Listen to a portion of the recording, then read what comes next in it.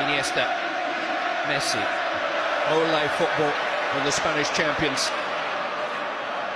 Xavi in towards Dani Alves. They cut Manchester United open.